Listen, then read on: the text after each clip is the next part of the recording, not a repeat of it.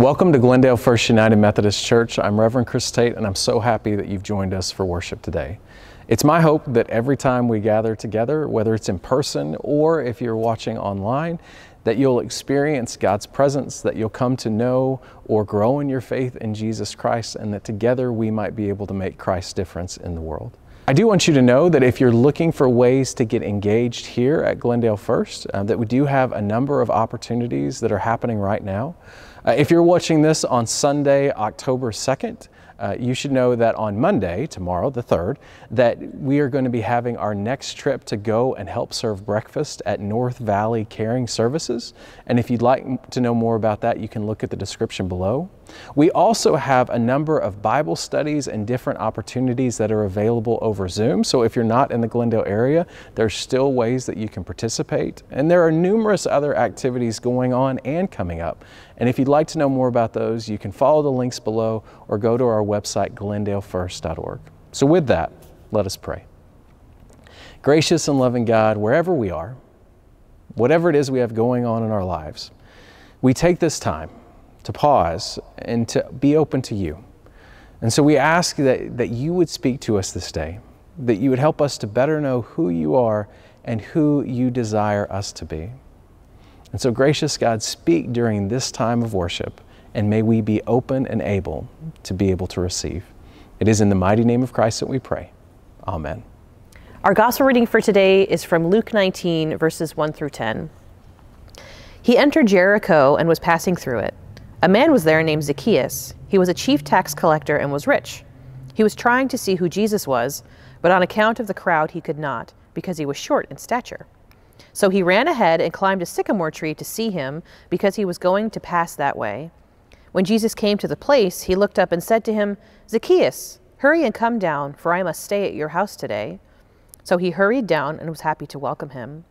All who saw it began to grumble and said, He has gone to be the guest of one who is a sinner. Zacchaeus stood there and said to the Lord, Look, half of my possessions, Lord, I will give to the poor and if I have defrauded anyone of anything, I will pay back four times as much. Then Jesus said to him, Today salvation has come to this house, because he too is a son of Abraham. For the Son of Man came to seek out and to save the lost. The word of God for the people of God. Thanks be to God. Today we are continuing in the Gospel according to Luke. And for those of you who've been with us, I commend you for sticking with us because we've been doing this for a number of weeks and even months now. But my hope is, is that in doing this and by following the story of Jesus' life as one author is telling us, that hopefully you're beginning to pick up and see the continuity that there is in the story. And that understanding that in the Bible and the accounts that we have of Jesus' life that we consider, uh, that we call the gospel, which literally means good news, that it's not just these little snippets as we often receive them, a parable here, a story there, those sorts of things. But in looking at it over time, that we've been able to see the continuity, the themes that have been present throughout this gospel, and we'll do this as we go forward in the other gospel accounts Matthew, Mark, and John. And with that, being able to see that there are things that the author is helping to teach us, helping us to understand and appreciate about who Jesus is, about who God is, and about who God seeks to be for us. And so, with that, as we again continue in Luke, uh, we pick up in chapter 19 in a story that Pastor Stephanie just read for us about a tax collector named Zacchaeus. I don't know about you, but I can't help but hear the name Zacchaeus and think about the Vacation Bible School song, Zacchaeus was a wee little, I won't sing the song for you, I won't trouble you or burden you with my singing. Um, but that's the story we're talking about about the man named Zacchaeus who wasn't just a tax collector, but he was a chief tax collector. And we talked a lot about tax collectors last week, but just as a refresher, it's the idea that, that Rome, who occupied, who controlled this part of the world because of conquering it with their military, um, that, that they still controlled it. And so, because of that, they would tax the people who lived in this land, and they taxed them pretty severely.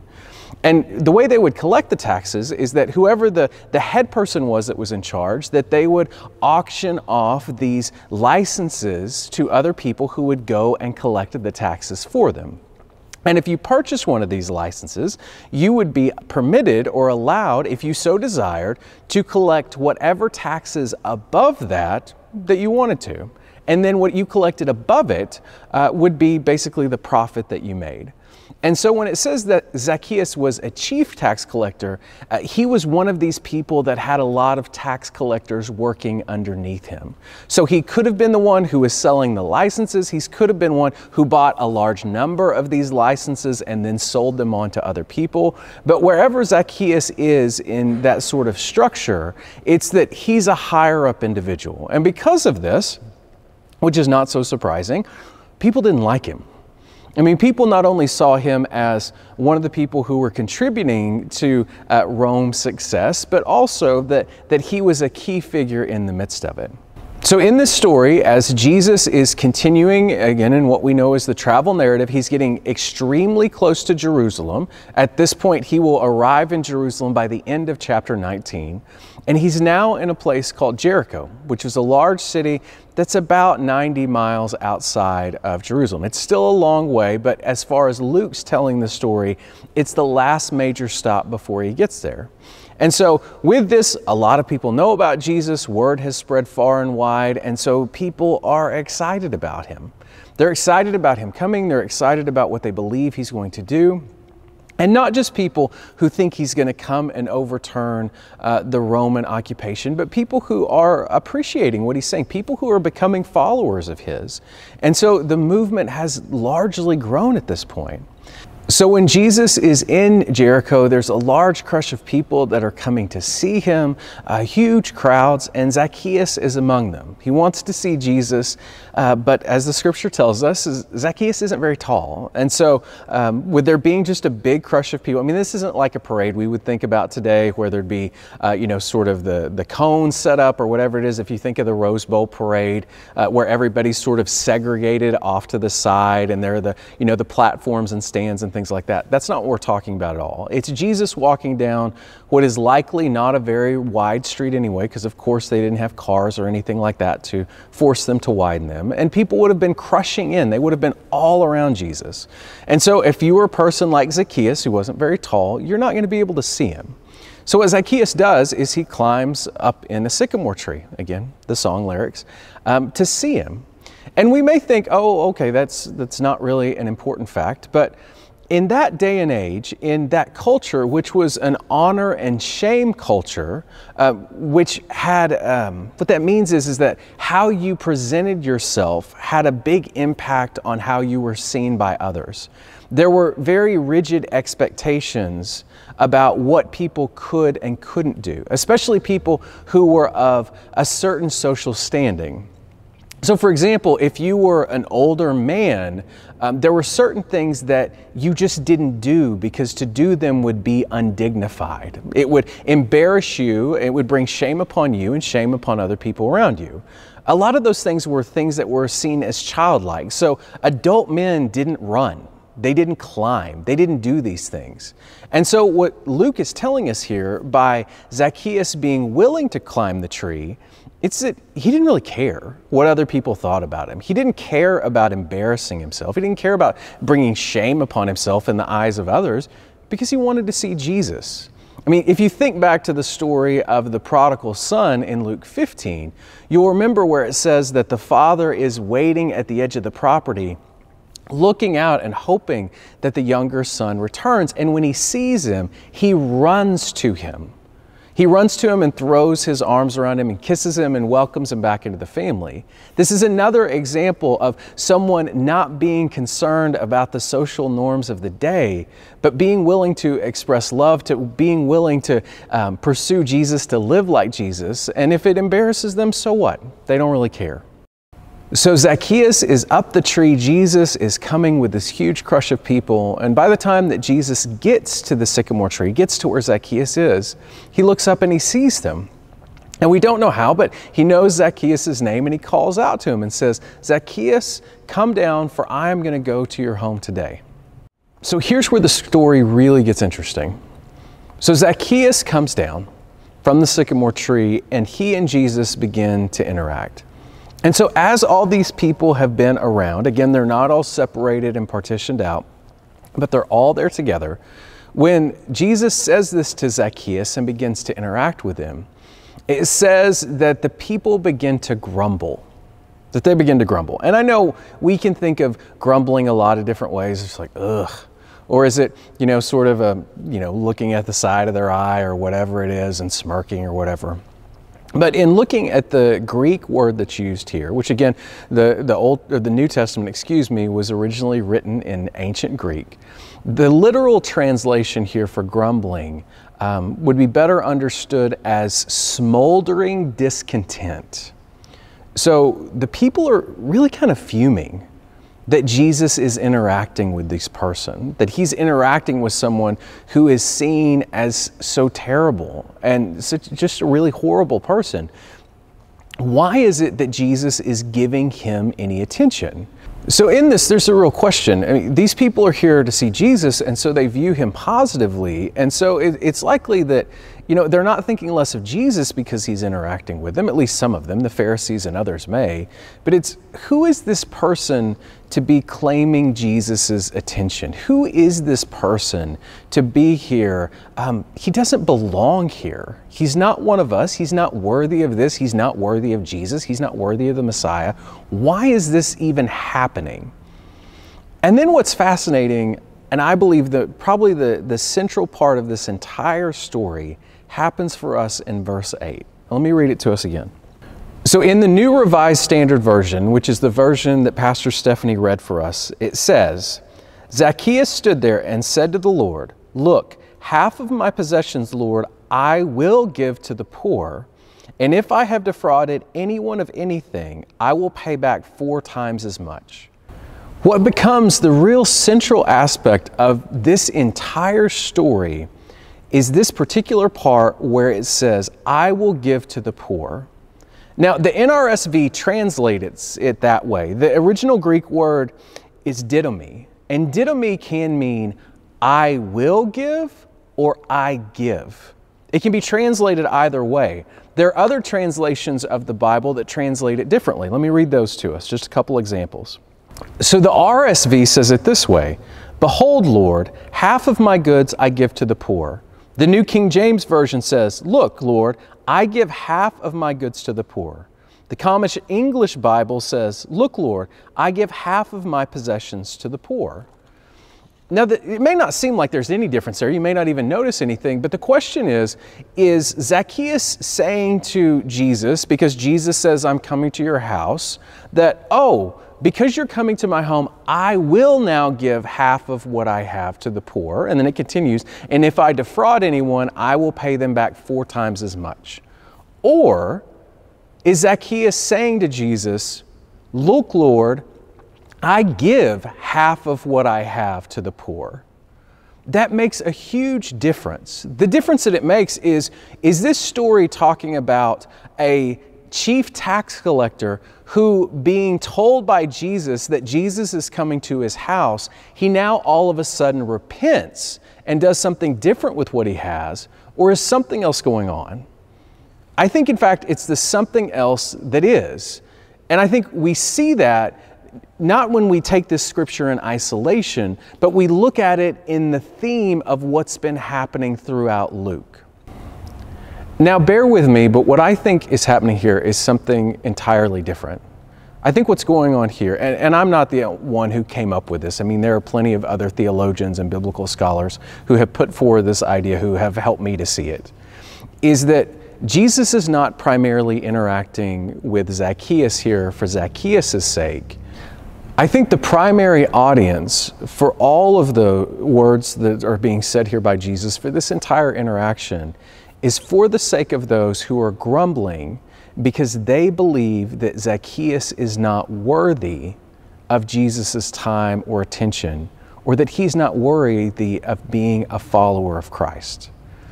Now, in the last couple of scriptures, we have seen a number of instances of parables that Jesus tells about rich people who don't get it right about people who have their wealth, who have their money, and they use it for their own benefit. They love money and they don't love people. They use people for the sake of money. But I think here with Zacchaeus, we see the opposite of that. We see someone who is clearly seen as unworthy, as someone who is seen as an outsider, as seen as someone who is clearly beneath um, the rest of the community that's there. But I think what we see in this person is faithfulness. What we see in them is them actually doing that thing that we have seen throughout the Gospel of Luke in putting Jesus as first in their life and thus having everything else affected by it. Now, part of what informs this is something that happens all the way back in Luke 3. Uh, you may not remember, you may not know, but at that point in the very early part of the gospel, right after we've heard about Jesus' conception and birth, when we jump ahead to Jesus' adult years, when he's in his 30s, his early 30s, we hear about John the Baptist, who, as Luke tells us, is Jesus' cousin. And John comes out and basically wakes people up. He knocks them out of their slumber, figuratively, of course, so that they can be open and able to receive Jesus and to hear what it is that he's having to say.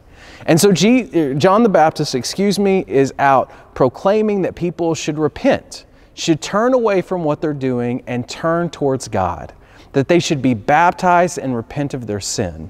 So, there's an interaction that happens in Luke chapter 3, and let me read it for us now.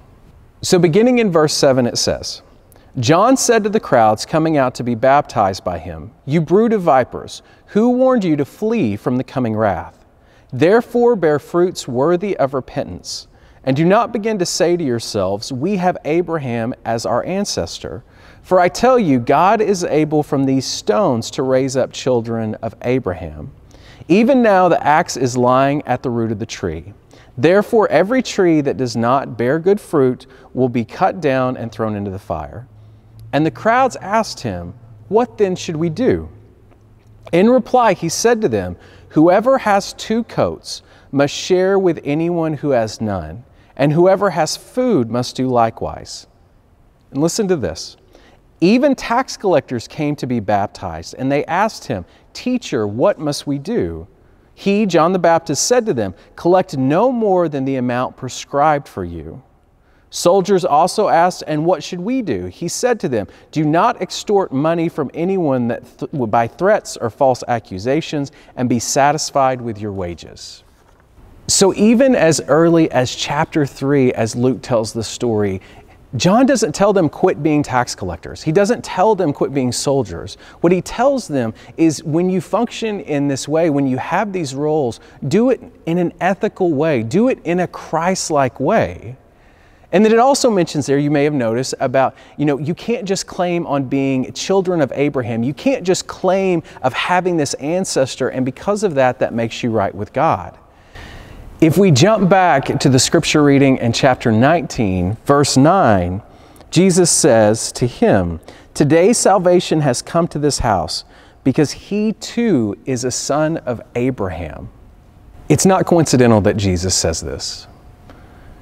I believe Jesus is not only affirming the good and righteous work that Zacchaeus is doing, but most importantly, what I believe is going on here is Jesus is showing, Jesus is telling all of those who think that some are unworthy of God, who are unworthy of God's favor and God's attention, that they absolutely are. Jesus ends this interaction by what he says in verse 10, where it says, For the Son of Man came to seek out and save the lost. Again, I don't think he's telling Zacchaeus that for his sake. I think he's saying that so all these people around, these good and faithful people, at least as they think of themselves, to remind them that Jesus comes for us all that Jesus came into this world and continues to come through the Holy Spirit for the sake of all of us. And that when we think of ourselves as better than others, as we think of others being unworthy or undeserving of God's love or God's attention or God's blessing or God's Spirit or whatever it might be, that when we do that, we miss the point. And if you watch the sermon from last week, you'll know that that was the exact point that Jesus was making again which is why I believe he's making it again now so that we will really hear it. So I know this is a lot, and I appreciate you sticking with me through this. But I think what Jesus is really trying to help us to appreciate and understand is that if you're a person who feels like because of whatever you've done or whatever's happened to you, that you're beyond the love of God, that God could never possibly love or accept you, that that's just not true. That's just not the case. We don't see that in the Gospels. We don't see that anywhere, anywhere. And if you're a person who really considers yourself to be self righteous and that you do good and great things and how proud God must be, and if you're a person who feels like you do really well at this whole church and Christian thing, and that's great if you do, but if that leads you to elevating yourself up at the expense of putting other people down and separating you from them, that that's missing the point. And the truth of the matter is is that we're all on either end of that spectrum depending on the day and depending on what it is that we're experiencing. What Jesus is telling us in this is that he loves us and that he came into this world and he lived and preached, he died and he was resurrected for all of our sake. And as Luke tells us about him, what he wants from us is no matter who we are, no matter where we are in our lives, no matter what it is that we do, that we're called to put Him first. And to remember that to do so doesn't mean that we can't do other things, but it means that all those things should be affected and influenced by prioritizing Christ in our lives. So, with that, let us pray. Gracious and loving God, help us to be able to understand who you are, to be able to receive the love that you have, not just for us as individuals, but for all people and to remember that in all things that you call us to follow you, to be willing to put you as first in our lives, and then to allow that decision, that choice, to continue to affect everything else. So that how we relate to other peoples, how we function in our jobs, how we treat the world around us, that in all of these things, that we would seek to do it in such a way that it shows your love, your care, your compassion, your justice, your righteousness, all of these things. Give us the wisdom to be able to see this. Give us the clarity to be able to know what that looks like and what it doesn't. And give us the strength that we need to be able to live that way when it's easy and especially when it's difficult. And as we pray all of these things, gracious God, we also pray together saying, Our Creator, who art in heaven, hallowed be thy name. Thy kingdom come, thy will be done, on earth as it is in heaven. Give us this day our daily bread, and forgive us our trespasses, as we forgive those who trespass against us. And lead us not into temptation, but deliver us from evil. For thine is the kingdom, and the power, and the glory forever. Amen. Each time we gather for worship, we are reminded of how blessed we are by God. And so it is out of gratitude and with thanksgiving that we give back to God a portion of what we have received. You can do that today with your financial giving by going to glendalefirst.org. With that, let us pray. Lord, how can we thank you for such wondrous love? You have covered us with blessing and sustained us with hope. Most of all, you have given us your very self for our life and the life of the world. In gratitude, we bring our gifts for the sake of those you love. In Jesus' name, amen. So don't forget if you're in the Glendale area and are looking for ways uh, to be more intentional about living out your faith, we've got the opportunity coming up tomorrow and Monday to help go serve breakfast at North Valley Caring Services. Also, we have the number of new Bible studies and other opportunities that are coming up as well. And of course, you want to find out more information about all of these, you can go to the links below in the description or just go to our website, glendalefirst.org. So, as we go forth from this time, and as you go back to your life and whatever waits for you there, I encourage you to remember the message that Jesus gives us in the scripture that none of us are beyond the love of God, that God loves all of us and calls us to follow Him, and that in doing so, it means to make Him the most important thing in our life and allow that decision to affect everything else we do. In the name of God, the Creator, the Sustainer, and the Redeemer, Amen.